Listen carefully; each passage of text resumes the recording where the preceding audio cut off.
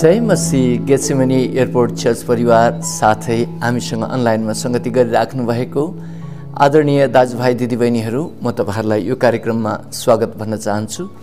सधैँ चाहिँ मैले एउटा नयाँ विषय दोषीपनबाट छुटकारा भन्ने विषयमा वचन लिएर आएको छु। र पवित्र बाइबलमा हामी दोषीपन कहाँबाट स्टार्ट भयो सुरु भयो भनेर चाहिँ हेर्दाखेरि हामीले अदनको बगैँचामा दोषीपनबाट हाम्रो जेजुबुवा आदम र जेजुमुवा हवामा यो सुरु भएको हामी देख्दछौँ।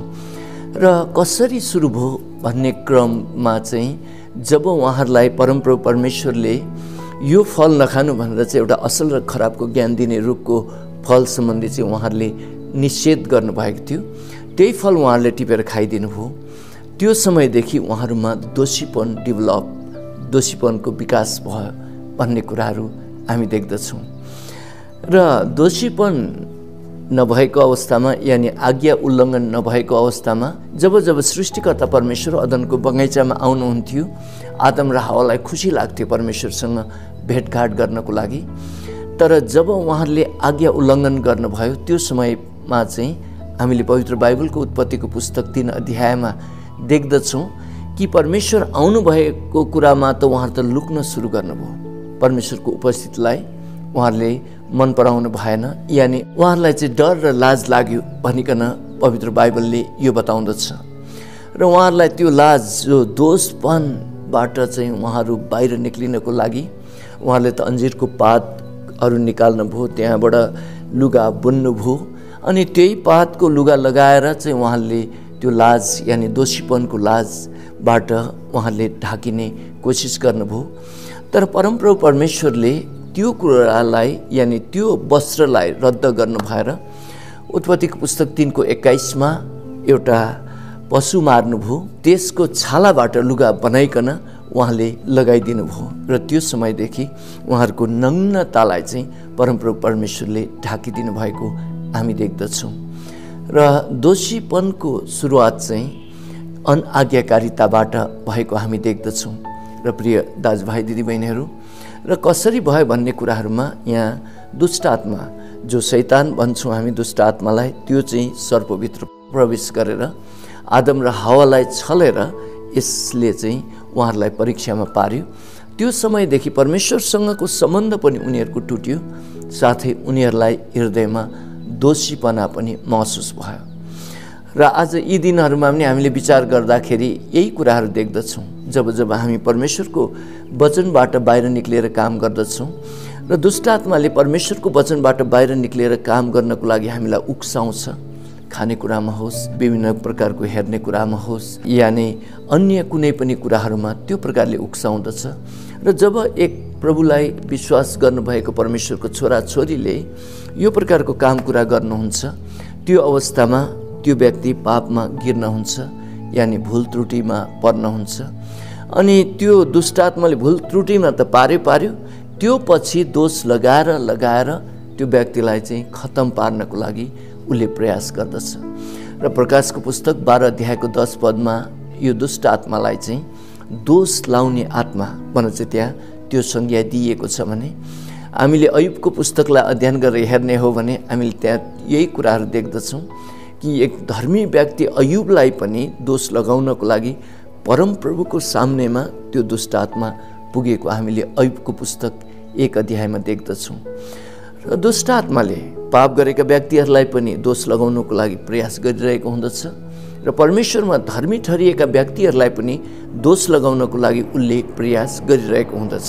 र यो दोषीपनबाट हामीलाई दुष्ट आत्माले बन्धनमा राख्नको लागि उसले हर प्रकारको प्रयासहरू गरिरहेको हुँदछ भनिकन बाइबलले यो बताएको छ। तर सृष्टिकर्ता परमेश्वरलाई हामी धन्यवाद दिन्छौँ।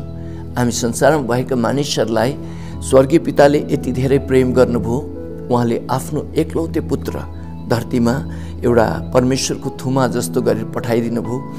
उहाँ क्रुसमा मर्नुभयो त्यस पछाडि जो रगत बगाउनु भयो त्यो रगतमा चाहिँ हाम्रो जस्तो सुकै पापको पनि क्षमा छ भने चाहिँ बाइबलले बताउँदछ।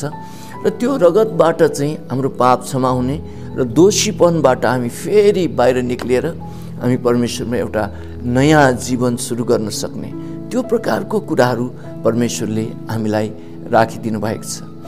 र अदनको बगैँचामा हाम्रो जिजुबुवा आदम र जिजुमुवा हावा दोषी महसुस भएको बेला त्यहाँ एउटा पशु मारियो र त्यो पशुको जो छाला चाहिँ उहाँहरूलाई यो वस्त्र बनाइकन लगाउन दिइयो भने जस्तै नयाँ करारमा सृष्टिकर्ता परमेश्वर स्वयं नै प्रभु येसु योहनाको पुस्तक एक अध्यायको उन्तिस पदमा यही नै भनिएको छ बत्तिसमा दिने योहन्नाले प्रभु येसुलाई देख्दाखेरि यही भन्नुभयो र अरूलाई यही परिचय दिनुभयो हेर परमेश्वरको थुमा जसले संसारको पाप उठाइलग्दछ भनिकन प्रभु येसुको परिचय बत्तिसमा दिने योहन्नाले यस प्रकारले गर्नुभएको थियो।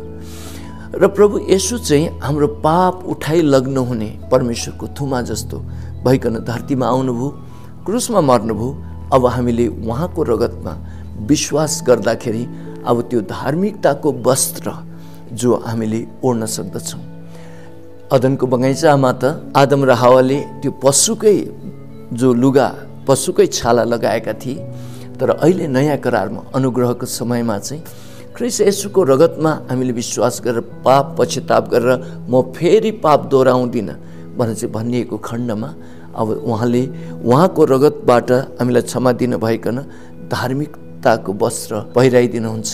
भनिकन बाइबलले हामीलाई यो बताएको र प्रिय दाजुभाइ दिदीबहिनीहरू हामीले प्रस्थानको पुस्तक बाह्र अध्यायको तेह्र पदमा पढ्दाखेरि मसालाई परमप्रभु परमेश्वरले इजरायलीहरूलाई मिश्रको दासत्वबाट छुटकारा दिने अन्तिम विपत्ति ल्याउनभन्दा अगाडि उहाँले यही भन्नुभयो तिमीहरूले एउटा थुमा मार र त्यो थुमाको रगत चाहिँ तिमीहरू बसेको घरको बाहिरीपट्टि छ्याप र राति म जब मिश्रमा भएर जानेछु। त्यो समयमा जुन जुन घरको ढोकामा त्यो रगत देख्दछु त्यो घरलाई चाहिँ म न्याय गर्ने छुइनँ। त्यो घरलाई चाहिँ म त्यो घरको जेठा छोरा मार्ने छुइनँ भन्छ चाहिँ उहाँले त्यो भन्नुभएको थियो। र उहाँले रगत देख्न बित्तिकै छोडिदिन्छु भनेर चाहिँ त्यहाँ भन्नुभएको थियो। प्रिय दाजुभाइ दिदीबहिनीहरू र नयाँ करारमा चाहिँ ख्रिस यसुको रगतमा विश्वास गर्ने व्यक्तिहरूको चाहिँ पापदेखि हामीलाई क्षमा दिनु भएर हामीलाई न्याय गर्नुहुन्न छोडिदिनुहुन्छ त्यो दण्डमा पर्न दिनुहुन्न भनेर चाहिँ पवित्र बाइबलमा यो भनिएको छ। र पुरानो करारमा मोसाको समयमा व्यवस्था मार्फत परमेश्वरका जनहरू पनि जिउनु भयो। त्यो समयमा उहाँहरू चाहिँ पवित्रतामा जानको लागि पवित्र भूमिमा प्रवेश गर्नको लागि जुत्ता खोल्नु पर्दथ्यो। मसालाई पोथ्रा जल्दै गरेको अवस्थामा परमप्रभुको आवाजले यही नै कुराहरू बताएको थियो कि ए मोसा ए मोसा तिमी पवित्र भूमिमा आएका छौ अब तिमीले लगाएको जुत्ता फुकाला भनेर चाहिँ यो बताइएको थियो भने। नयाँ करारमा लुकाको पुस्तकमा प्रभु यसुले भन्नुभएको दृष्टान्तमा एक जो उडन्ते पुत्र जब उसले पाप गर्यो ऊ चाहिँ दोषै दोषको भारी बोकेर सुँगुरको चारो खाने अवस्थामा आइसकेको अवस्थामा उसको चेत खुल्यो र त्यो अवस्थामा ऊ चाहिँ आफ्नो घर फर्क्यो। बुवा भएकोमा गयो। बुवा भएकोमा जाँदाखेरि त यो जुत्ता खोल्ने कुरा त्यहाँ परमप्रभु परमेश्वरले गर्नुभएको हामी देख्दैनौँ। यानि प्रभु येसुले गर्नुभएको हामी देख्दैनौँ। तर त्यो समयमा त बुवा आउन भएर त्यहाँ भएका मानिसहरूलाई मेरो छोरा हराएको थियो भेटाए मरेको थियो जीवित भयो उसको खुट्टामा जुत्ता लगाइदियो भनेर पो उहाँले भन्नुभयो। र व्यवस्थाको समयमा चाहिँ पवित्र हुनको लागि त्यहाँ विभिन्न प्रकारको क्रियाकलापहरू गर्नुपर्ने देखिएको छ भने तर अनुग्रहको समयमा त उहाँले त त्यो जुत्ता चाहिँ मेरो छोराको खुट्टामा लगाइदियो भनेर चाहिँ भन्नुभएको छ। प्रिय दाजुभाइ दिदीबहिनीहरू र यो हामी अनुग्रहको समयमा बसेको कारणले गर्दा दुष्ट आत्माले हामीलाई हरेक पलमा उसले दोष लगाउने विभिन्न प्रकारको कुराहरू भेटिए तापनि उसले भेटे तापनि तर प्रभु येसुले एकैपटक जो कलबरी क्रुसमा रगत बगाउनु भयो हर पल हामीलाई क्षमा दिनको लागि त्यो रगत जिउँदो छ भनेर चाहिँ बाइबलले बताएको छ। र जब तपाईँलाई दुष्ट आत्माले परीक्षा गरेर छलेर तपाईँलाई परीक्षामा पारेको अवस्थामा म फेरि यो पाप दोहोऱ्याउँदिनँ। क्रिसको रगतमा म शरण लिन्छु। प्रभु मलाई क्षमा गर्नुहोस्। भन्नुभएको खण्डमा तपाईँ दोषी अवस्थामा बसिराख्नु पर्दैन। तपाईँको जस्तो सुकै पाप पनि क्षमा हुन्छ। भनेर चाहिँ बाइबलमा यो बताएको हो। र यति भन्दै म टेक दाहाल आजको वचनबाट बिदा हुन्छु। जय मसी तपाईँहरूले हाम्रो युट्युब च्यानलको कमेन्ट बक्समा यस प्रश्नको उत्तर दिन सक्नुहुन्छ र आकर्षक उपहार जित्ने मौका नगुमाउनुहोला। साथै हाम्रो युट्युब च्यानललाई लाइक सब्सक्राइब र बेल आइकन अन गर्न नभुल्नुहोला। धन्यवाद।